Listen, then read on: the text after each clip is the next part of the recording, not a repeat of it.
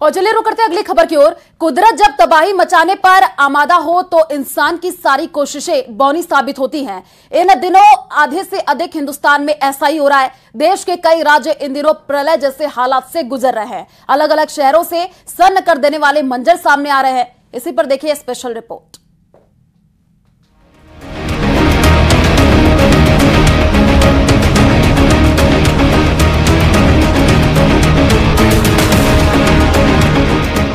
सैलाब के कहर की सनसनी सनसनीखेज तस्वीरें। मूसलाधार बारिश की चुनौती भरी तस्वीरें। देश के कई इलाकों में मौसम का हाई अलर्ट। कुदरत जब तबाही मचाने को आमादा हो तो कुछ नहीं देखती। अपने रास्ते में आने वाली हर चीज़ को तबाह कर देती है। इस वक्त कमोबेश देश के अलग अलग इलाकों से ऐसी सन्न कर देने वाली तस्वीरें आ रही हैं। ये द्वारका का हरिपर पानीली मार्ग है। बाढ़ का पानी प्रचंड वेग के साथ बह रहा है। एक कार सवार ने सैलाब को पार करने की कोशिश की, लेकिन जिसका अंदाज़ा था वही हुआ। लहरों की ताकत ने मशीन की ताकत को जाम कर दिया। जिसका नतीजा ये हुआ कि इस गाड़ी में सवार लोगों की जान पर बन गई। इसके बाद स्थानीय लोगों ने इस गाड़ी को एक ट्रैक्टर से बाँध दिया और कड़ी मशक्कत के बाद गाड़ी को खींच लिया गया।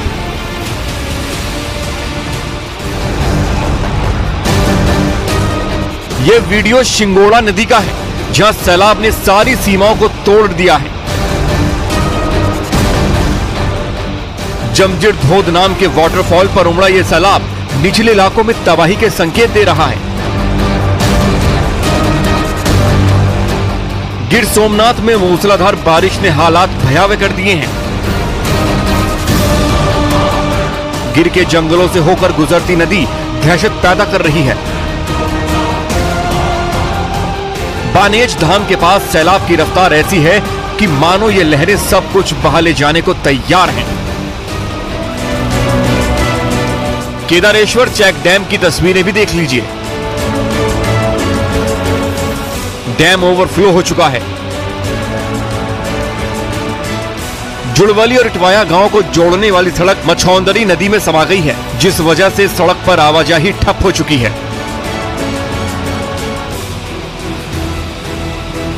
तस्वीरें देखकर समझा जा सकता है कि पूरे गिर सोमनाथ में सैलाब किस कदर तबाही मचा रहा है।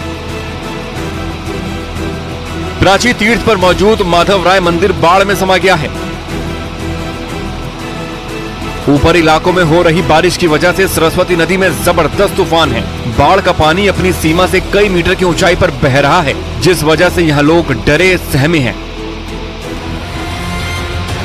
दावा किया जा रहा है कि एक ही दिन में हुई छह इंच बारिश ने सब कुछ डुबो कर रख दिया है। शॉपिंग कॉम्प्लेक्स से लेकर घरों तक पानी ही पानी नज़र आ रहा है। पंपिंग सेट से पानी को निकालने की कोशिश भी हो रही है, लेकिन बारिश इतनी ज़्यादा हो रही है कि सारी व्यवस्थाएँ सड़क पर उमड़े इस सैलाब के साथ बह गई हैं।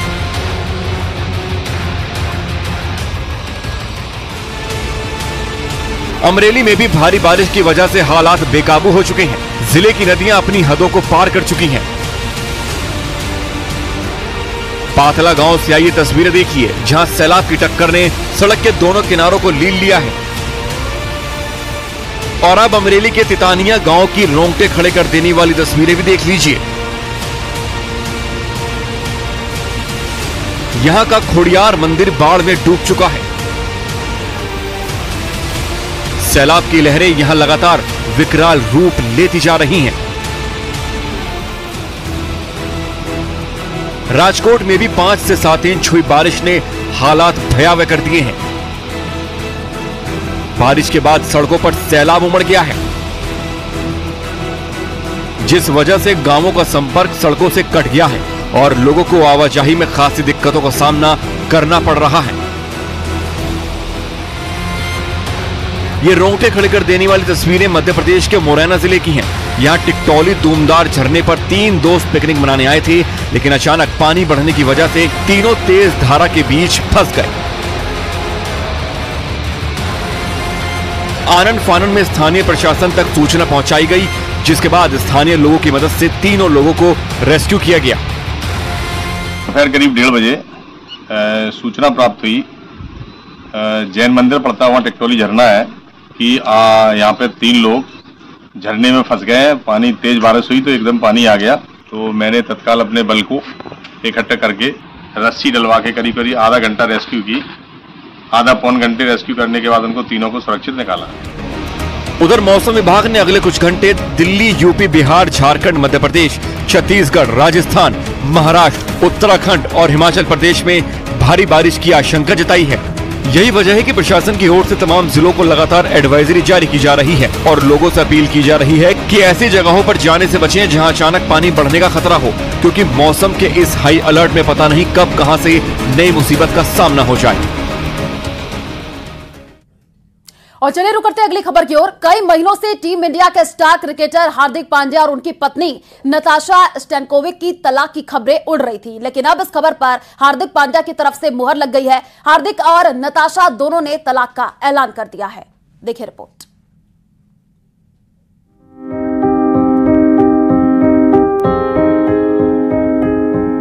टीम इंडिया ने पिछले महीने ही टी ट्वेंटी वर्ल्ड कप जीता है फाइनल में जहाँ स्टार ऑलराउंडर हार्दिक पांड्या जीत के हीरो रहे, लेकिन शादी की पिच पर उनकी पारी ज़्यादा लंबी नहीं चल सकी पिछले कई महीनों से हार्दिक पांड्या और उनकी पत्नी नताशा स्टेनकोविक की तलाक की खबरें सोशल मीडिया प्लेटफॉर्म पर तैर रही थीं। लेकिन अब हार्दिक और नताशा दोनों ने इस पर मुहर लगा दी है अब उनकी राहें जुदा हो गई हैं। सोशल मीडिया प्लेटफॉर्म पर दोनों ने तलाक का ऐलान कर दिया है। हार्दिक पांड्या और नताशा की शादी सिर्फ़ चार साल ही चल पाई। आईपीएल के दौरान दोनों के तलाक की खबरें हर तरफ़ छाई हुई थी, लेकिन तब हार्दिक और नताशा दोनों ने इस पर कोई प्रतिक्रिया नहीं दी थी। हालाँकि बीच बीच में इस खबर को अफवाह भी बताया गया, लेकिन अब दोनों ने तलाक की पुष्टि कर दी है। हार्दिक जब आईपीएल में खेल रहे थे, तब से ही अंदाज़ा हो गया था कि उनके और नताशा के संबंध खत्म होने की कगार पर हैं। हार्दिक और नताशा ने गुरुवार को सोशल मीडिया पर अलग होने की जानकारी शेयर की हार्दिक पांड्या ने लिखा नताशा और मैंने चार साल साथ रहने के बाद आपसी सहमति से अलग होने का फैसला किया है। हमने इस रिश्ते को बनाए रखने की पूरी कोशिश की और अपना सब कुछ लगा दिया। लेकिन अब हमें लगता है कि हम दोनों के लिए यही सही फैसला है। ये हमारे लिए बहुत मुश्किल फैसला था। हमने साथ में खुशी के पल बिताए, एक दूसरे के सम्मान का ख्याल रखा, एक फैमिली के तौर पर आगे बढ़े। नताशा कुछ दिन पहले ही हार्दिक का घर छोड़कर अपने पेरेंट्स के पास चली गई थी। नताशा और हार्दिक ने अपने बेटे अगस्त्य के बारे में भी बताया। उनका कहना है कि वो दोनों मिलकर उसकी परवरिश करेंगे और सुनिश्चित करेंगे कि उसे दुनिया की सारी खुशियाँ मिले। उन्होंने अपने फ़ैन से समर्थन और प्राइवेसी का सम्मान करने की भी अपील की है। हार्दिक पांड्या और नताशा स्टैनकोविक ने 1 जनवरी 2020 को सगाई की थी। कोरोना महामारी के दौरान दोनों की 31 मई 2020 को शादी हुई। 30 जुलाई 2020 को नताशा ने बेटे अगस्त को जन्म दिया।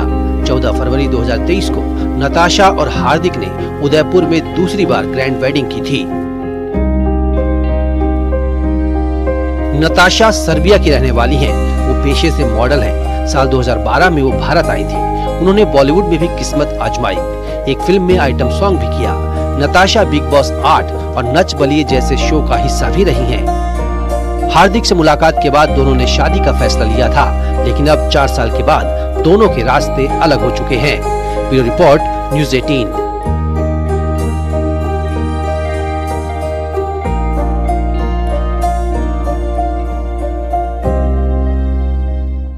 और रुक करते हैं बड़ी खबर की ओर। पेपर लीक मामले से जुड़ी हुई बड़ी खबर सामने आ रही है। पेपर लीक का एक और मास्टरमाइंड गिरफ़्तार हो गया है। आपको बता दें कि ईडी ने राजू राम को गिरफ़्तार किया है। उदयराम बिश्नोई का राजू राम पार्टनर है और शिक्षा संकुल से पेपर लीक प्रकरण में राजू राम शामिल है। रामकृपाल से जो है पेपर लेकर के पाँच करोड़ में बाज़ार में सौदा किया था और अब रिमांड पर लेकर के ईडी जो है राजू राम से पूछताछ करेगी।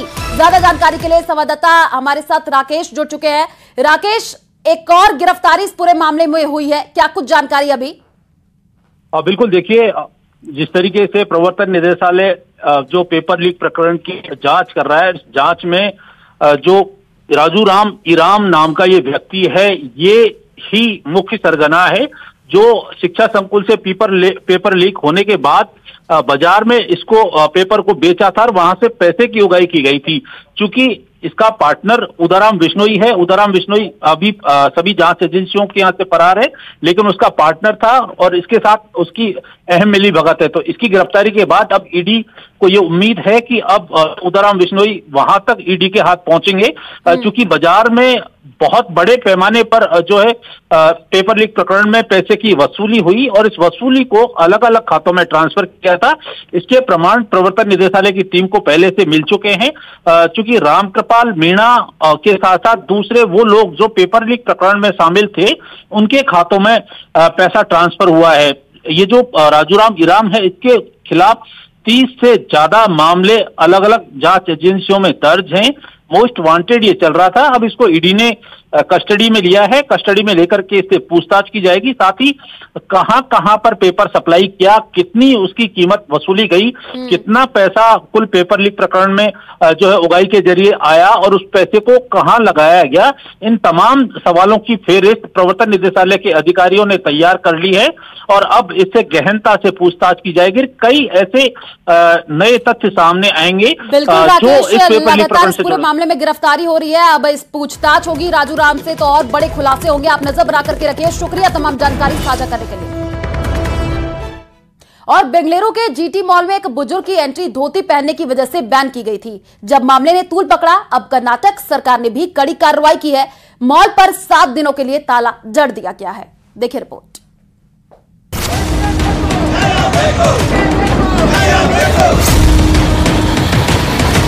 धोती को लेकर हंगामा। मॉल में सात दिन के लिए जड़ गया ताला। 16 जुलाई मंगलवार के दिन बेंगलुरु में एक धोती पहने बुज़ुर्ग किसान को मॉल में एंट्री नहीं दी गई, जिसके बाद तो किसानों ने मोर्चा खोल दिया। मामले ने तूल पकड़ा तो कर्नाटक सरकार भी हरकत में आई और मॉल के खिलाफ कड़ा एक्शन लिया। सरकार के आदेश के बाद बेंगलुरु महानगर पालिका ने जीटी मॉल को सात दिनों के लिए बंद कर दिया। मॉल के सभी प्रवेश द्वार बंद कर दिए गए। अब सात दिनों तक लोग मॉल नहीं जा सकते। मामला 16 जुलाई का है, जब हावेरी के रहने वाले एक बुज़ुर्ग किसान फकीरप्पा और उनके बेटे पिक्चर देखने के लिए बेंगलुरु के जीटी वर्ल्ड मॉल में पहुँचे। लेकिन मॉल में ड्यूटी में तैनात सिक्योरिटी गार्ड ने उन्हें एंट्री देने से मना कर दिया, क्योंकि बुज़ुर्ग किसान ने परंपरागत परिधान धोती कुर्ता पहनकर पहुँचे थे। बुज़ुर्ग ने मॉल के कर्मचारी से इस पर बात की तो वहाँ से जवाब मिला कि आपने धोती पहनी हुई है, पहले पैंट पहन कर आइए, उसके बाद ही एंट्री मिलेगी। बुज़ुर्ग ने वहाँ कर्मचारियों और सिक्योरिटी गार्ड को बहुत समझाने की कोशिश की, लेकिन किसी ने उनकी बात नहीं सुनी। बुजुर्ग कहते रह गए कि उनका घर बहुत दूर है और वो वापस जाकर कपड़े नहीं बदल सकते लेकिन उनके समझाने का भी कोई फायदा नहीं हुआ जब बुजुर्ग शख्स के बेटे ने बात की तो उन्होंने बताया कि मॉल मैनेजमेंट ने ये नियम बनाया है कि कोई भी शख्स मॉल में धोती पहनकर नहीं आ सकता ಅಲ್ಲೋ ಸೆಕ್ಯೂರಿಟಿ ಕೇಳಿದ್ರೆ ಅವನ ಹೇಳ್ತಾನೆ ಇಲ್ಲ ಸರ್ ನಮ್ಗೆಲ್ಲ ಮಾಡಲ್ಲ ನಮಗೆ ರೂಲ್ಸ್ ಇದೆ ರೂಲ್ಸ್ ಅವ್ರು ನೀವು ಹೋಗಿ ಕೇಳ್ಕೊಳ್ಳಿ ಅಂತ फिर क्या था?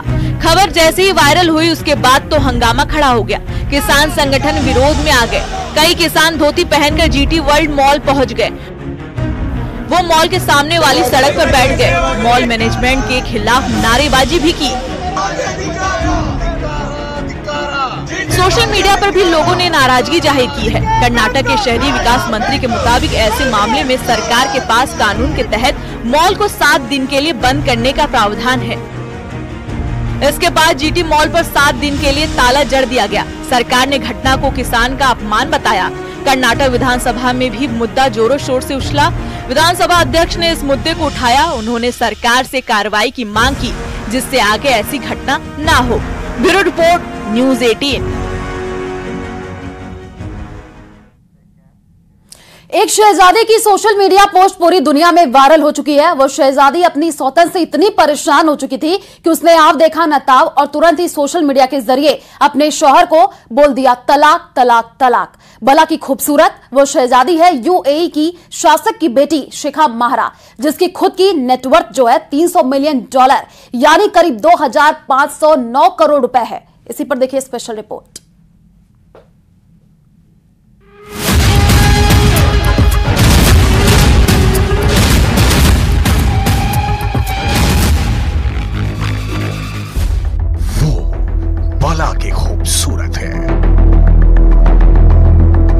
उसे बेशकीमती गहनों का शौक है।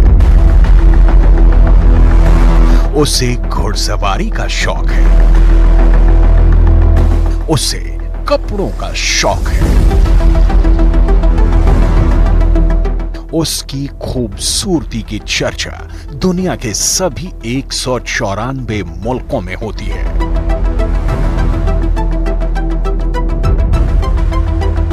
अपनी पूरी ज़िंदगी में आम लोग जितना कमाते हैं, उतना हर रोज खर्च करती है वो।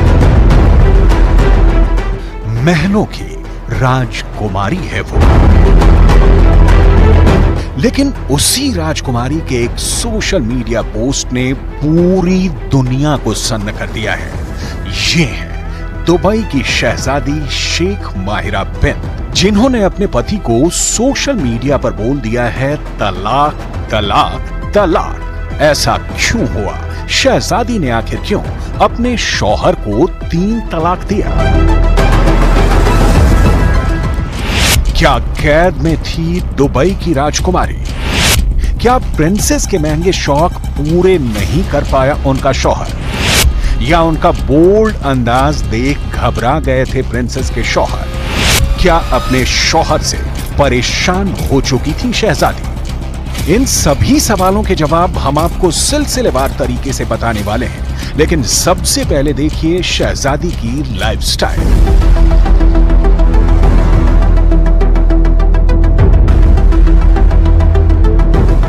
शहजादी को घोड़ों से खास लगाव है। ये हद से ज़्यादा अपने घोड़ों से प्यार करती हैं। इनके अस्तबल में एक से बढ़कर एक घोड़े मौजूद हैं। इनके पास एक ऐसा घोड़ा भी है जिसकी कीमत तीन दशमलव चार मिलियन डॉलर बताई जाती है। वो अक्सर दुबई में होने वाले हॉर्स रेसिंग मुकाबलों में भी हिस्सा लेती है। उनके पास इस वक्त दुनिया की आला नस्ल के 11 घोड़े मौजूद हैं। इन घोड़ों की देखभाल पर सालाना चार मिलियन डॉलर खर्च करती हैं। इससे अंदाज़ा लगाया जा सकता है कि शहजादी हॉर्स राइडिंग की कितनी शौकीन है। शेखा मेहरा का दूसरा शौक भी काफ़ी निराला है। इन्हें स्विमिंग का बेइंतहा शौक है। शेखा मेहरा एक बेहतरीन स्विमर है। शेखा के जानने वालों का कहना है कि वो स्विमिंग इसलिए करती हैं ताकि वो फिट रहें शेखा मेहरा के फिटनेस को देखने के बाद ये वाकई सच साबित होता है। शेखा मेहरा रफ्तार की भी दीवानी है। मीडिया रिपोर्ट्स के मुताबिक शेखा मेहरा के लग्जरी कारों का एक बड़ा सा कलेक्शन है। बताया जाता है कि मेहरा के पास बावन करोड़ रुपए के गोल्ड लैम्बोर्गिनी के साथ और कई बेशकीमती कारें शामिल हैं, जिसमें ढाई करोड़ रुपए की Mercedes A M G ji sixty three, ग्यारह करोड़ की बॉर्बी एडिशन की पिंक रॉल्स रॉय, पंद्रह करोड़ की फेरारी, बाईस करोड़ की बुगती सीरी शामिल है। ये तस्वीरें शहजादी की शाही शादी की हैं। शाही शादी की इन तस्वीरों को दुनिया देखती ही रह गई, क्योंकि ये शादी थी ही इतनी खास और खर्चीली। लाखों डॉलर इस शादी में पानी की तरह बहा दिए गए थे। आखिर दुबई की शहजादी की जो शादी थी। मीडिया रिपोर्ट्स के मुताबिक, शहजादी की ड्रेस तैयार करने वाले ड्रेस डिज़ाइनर ने अपने सभी असाइनमेंट को छोड़कर महीनों की मेहनत के बाद शहजादी शेखा मेहरा की ये ड्रेस तैयार की थी। और देखिए, जब शहजादी ने वो ड्रेस पहनी तो क्या बला की खूबसूरत दिख रही थी। मीडिया रिपोर्ट्स में यह भी दावा किया जाता है कि शेखा मेहरा दुबई के प्रधानमंत्री, अपने पिता, शेख मोहम्मद बिन राशिद अल मखतूम के कानूनों को भी नहीं मानती। उनकी जो मर्ज़ी होती है, वो खुले दिल से करती हैं। इस्लामिक कंट्री से ताल्लुक होने के बाद भी शेखा मेहरा बिंदास ज़िंदगी जीना पसंद करती हैं। दरअसल दुबई के शासक मोहम्मद बिन राशिद अल मखतूम की बेटी शेखा ने पति के किसी और महिला से रिश्ते का आरोप लगाते हुए उन्हें तलाक दे दिया है। अब आपको दिखाते हैं कि कैसे शेखा मेहरा ने अपने शौहर शेख माना को सोशल मीडिया के ज़रिए तलाक दिया और क्या कहा। डियर हस्बैंड अब क्योंकि आप अपने कई अन्य साथियों के साथ बहुत व्यस्त हैं, इसलिए मैं हमारे तलाक का ऐलान करती हूँ। मैं तुम्हें तलाक देती हूँ मैं तुम्हें तलाक देती हूँ मैं तुम्हें तलाक देती हूँ। अपना ध्यान रखें आपकी पूर्व पत्नी। और चले फ़िलहाल इस बुलेटिन में इतना ही। आगे आपको दिखाएँगे महारो राजस्थान। नमस्कार।